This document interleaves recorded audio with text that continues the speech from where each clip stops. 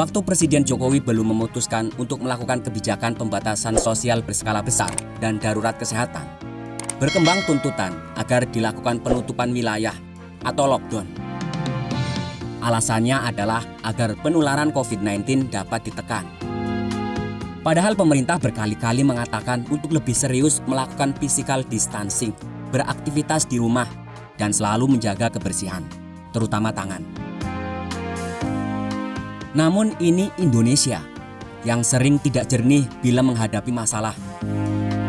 Kepentingan dan keuntungan pribadi masih sering didahulukan daripada kepentingan masyarakat. Politis. Menghadapi wabah masih sempat-sempatnya untuk kampanye, untuk sok-sokan, cari muka, pertunjukan keberpihakan, atau menekan pihak lawan. Elit oposisi pusat teriak lockdown lockdown, menekan pemerintah, mengatakan bahwa pemerintah lamban, dituduh tidak mau mencukupi kebutuhan warganya. Terlebih ketika ada sebagian pendukung Presiden Jokowi yang latah, ikut-ikutan teriak, menuntut lockdown juga. Jangan mau kalah dengan negara lain, katanya. Beberapa kepala daerah ingin dianggap cepat, ingin dianggap tanggap ingin dianggap melindungi warganya, ingin dianggap lebih baik dari pusat. Beberapa kepala daerah bertindak berlebihan, menutup wilayahnya. Apalagi ketika tindakan mereka mendapat sedikit dukungan dari mereka yang menganggap tingkat kepercayaan kepada Presiden Jokowi semakin menipis. Butuh pemimpin baru katanya. Kepala daerah yang melockdown daerahnya semakin jumawa. Bertambah satu inci besar kepalanya. Salah satunya adalah Kota Tegal. Wali Kota Tegal, Dedi Yon Supriyono, melakukan penutupan jalan menggunakan beton di 49 titik akses masuk Kota Tegal pada Minggu 29 Maret 2020. Menurutnya, langkah itu sebagai upaya menekan penyebaran COVID di Kota Tegal. Tidak tanggung-tanggung, Dedi Yon merencanakan isolasi wilayah Kota Tegal tersebut selama empat bulan ke depan. Tapi yang namanya hanya gagah-gagahan, tanpa perhitungan yang cermat dan tentu saja tanpa payung hukum yang jelas. Lockdown ala Dedion dipastikan tidak berumur lama. Belum satu minggu penutupan jalan di beberapa ruas jalan, pemerintah kota Tegal membuka blokade MCB pada Kamis malam 2 April 2020. Petugas dari Dinas PUPR Dinas Perhubungan Kota Tegal dan Satlantas Polres Kota Tegal diterjunkan ke jalan untuk membuka blokade tersebut.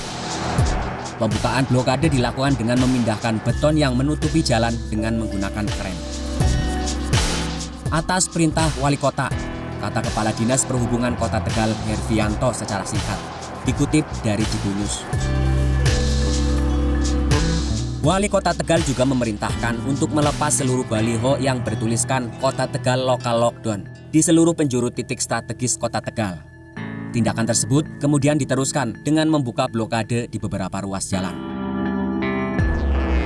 Adapun ruas jalan yang dibuka blokadenya adalah Jalan Proklamasi depan kantor Dinas Kesehatan Kota Tegal, Jalan Sultan Agung depan RSUD Kardinah, Jalan Teuku Umar perbatasan wilayah kota dan Kabupaten Tegal, Jalan Jenderal Sudirman, dan Jalan Perintis Kemerdekaan.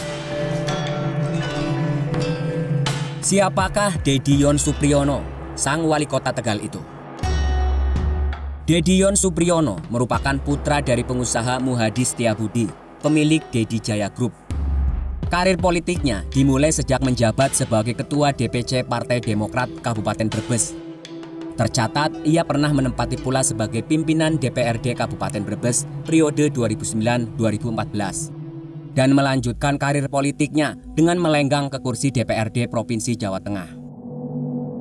Pada pemilu kada serentak yang diselenggarakan pada 27 Juni 2018 lalu, Dedi bersama pasangannya Jumadi unggul tipis dari pasangan Ali Zainal dan Tanti Prasetyo setelah melalui serangkaian sidang sengketa PHPU di Mahkamah Konstitusi, pasangan ini akhirnya ditetapkan sebagai pimpinan Kota Tegal oleh KPU setempat yang menjabat mulai 23 Maret 2019. Sebagai tokoh muda, Dedion tentu memiliki cita-cita demi karir politiknya ke depan. Bisa saja jabatan wali kota hanyalah langkah awal.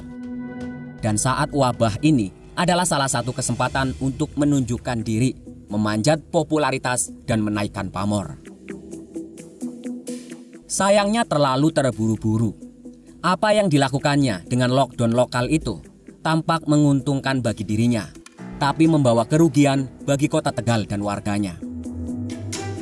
Penutupan jalan jelas akan mengganggu kegiatan warga, baik aktivitas maupun kegiatan ekonominya.